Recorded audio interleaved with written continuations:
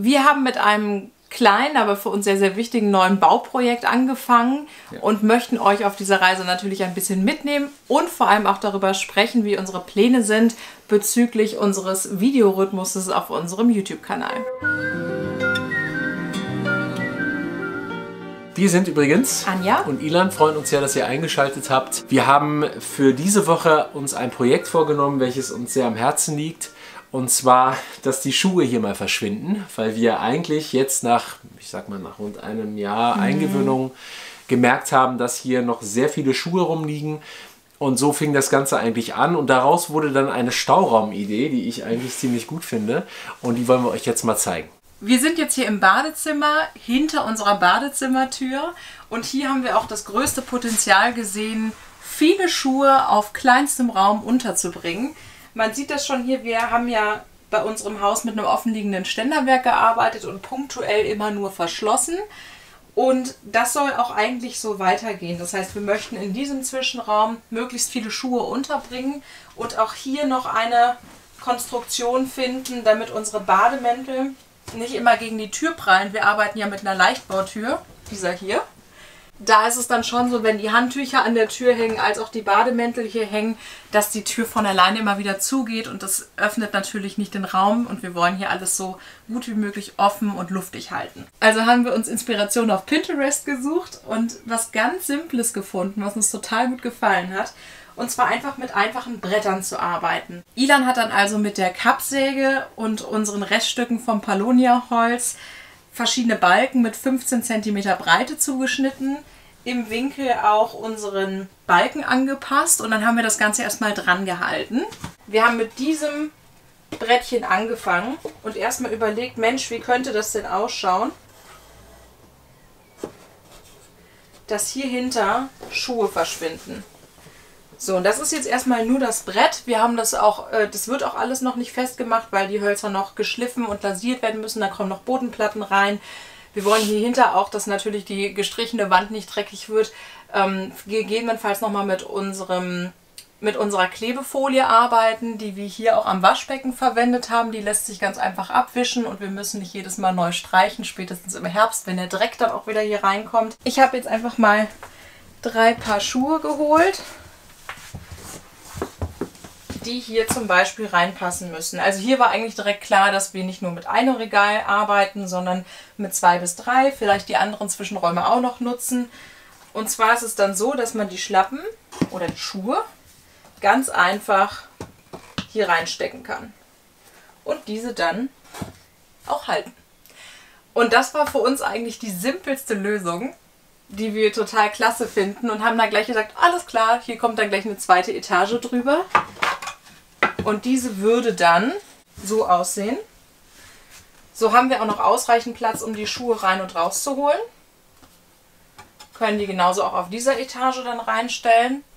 Und das Einzige, was wir hier in dem Fall noch machen müssen, neben der Befestigung und der, dem Lasieren des Holzes und so weiter, ähm, ist unten noch eine kleine Bodenplatte reinzusetzen, jeweils, dass die Schuhe, gerade meine Schuhe oder Schlappen, auch nicht in der Mitte durchfallen. Also ich finde, das sieht ziemlich gut aus, ehrlich gesagt, dafür, dass wir beinahe einen Schuhschrank gekauft hätten, ist das hier die eleganteste und vor allen Dingen die sparsamste Lösung, die wir hätten haben können. Und äh, das ist auch sehr, sehr wichtig, damit die Tür auch mal aufbleibt, weil die drückt sich immer hier gegen, wenn die Mäntel und die Handtücher und alles hier hängt.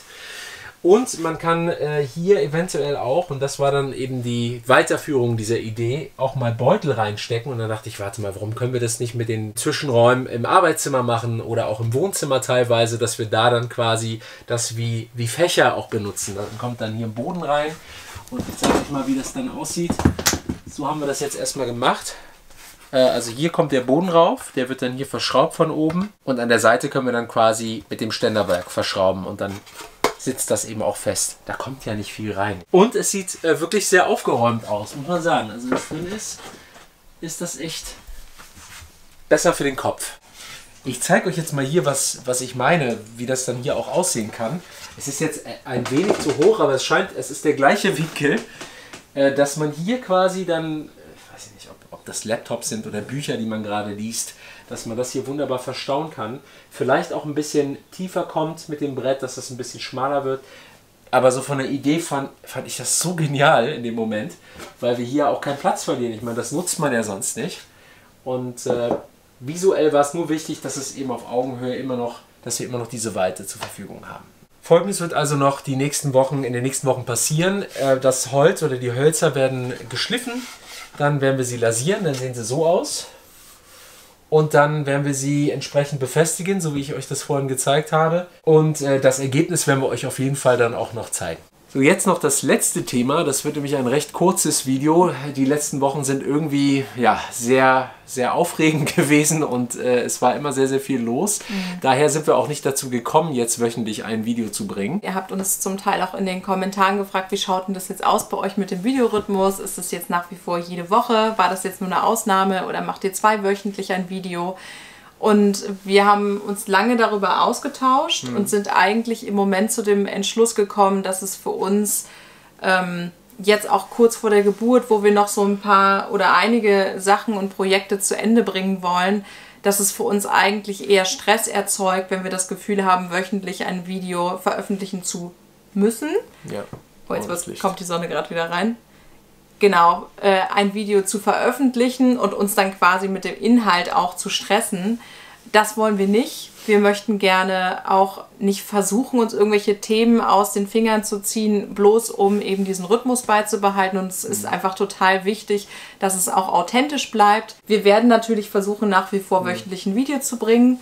Ähm, es kann aber auch einfach total gut sein, weil bei uns wirklich immer wieder was Neues kommt, äh, was uns herausfordert, dass wir dann auch einfach für uns entscheiden, die Stimmung ist nicht gut, wir haben jetzt keine Nerven, ein Bauprojekt äh, zu starten oder euch irgendwas anderes zu zeigen, weil wir einfach emotional mit anderen Themen beschäftigt sind, ja. ähm, dass dann einfach das Video ausfällt. Das ist, glaube ich, für die Stimmung, für uns alle besser. Entschuldigung übrigens, dass ich hier die ganze Zeit rumtippen muss, aber die Sonne, so, die zwingt mich ja quasi dazu.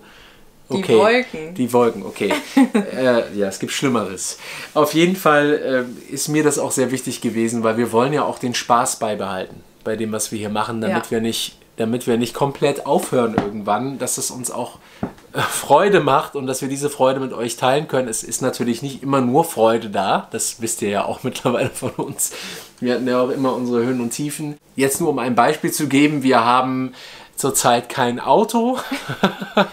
das hat irgendwie den Geist aufgegeben, aus irgendeinem Grund. Auf einmal. Plötzlich hatten wir einen Motorschaden. Es ist nicht mehr angesprungen. Wir haben ja. jetzt einen Totalschaden. Es lohnt sich nicht, den Wagen zu reparieren. Und jetzt sind wir auf der Suche nach einem Fahrzeug. Und das kostet jetzt natürlich auch sehr viel Zeit, sich mit diesem Thema zu befassen und auseinanderzusetzen.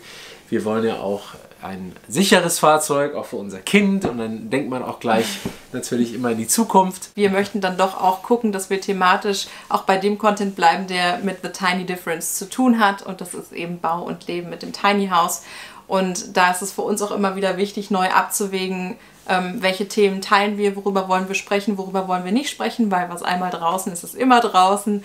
Äh, wir müssen uns einfach beide damit gut fühlen und so soll es auch weitergehen und genauso dynamisch wird es mit den Videos auch bleiben. Also seid nicht traurig, wenn es mal sonntags kein Video gibt. Wir ähm, haben auch gemerkt, dass über unsere Community-Kommentarfunktion ähm, das auch nur vielleicht eine Handvoll Leute lesen. Deshalb haben wir beim letzten Mal gar nicht darauf hingewiesen. Wenn euch das lieb ist oder wenn ihr sagt, hey, ich stelle mich darauf ein, dass sonntags immer ein Video kommt. Wenn nicht, bitte schreibt es doch da rein. Dann lasst es uns gerne in den ja. Kommentaren wissen. Dann Machen legen wir da nochmal mehr Wert drauf, um ja. euch da auch zu informieren. Ich meine, das Leben im Tiny House ist ja nun mal unser Leben. Also es hat auch sehr viel mit unserem Leben zu tun. Daher nehmen wir euch, wo wir können, gerne immer, immer gerne mit auf die Reise, aber wo wir auch ein gutes Gefühl haben. Ja. Ja, in diesem Sinne hoffen wir, dass euch dieses Video gefallen hat. Wenn ja, hinterlasst uns gerne einen Daumen, damit unterstützt ihr uns natürlich auch und diesen Kanal. Und äh, ja, dann sehen wir uns eben in zum nächsten Video wieder. genau, bis dahin. Ciao. Tschüss.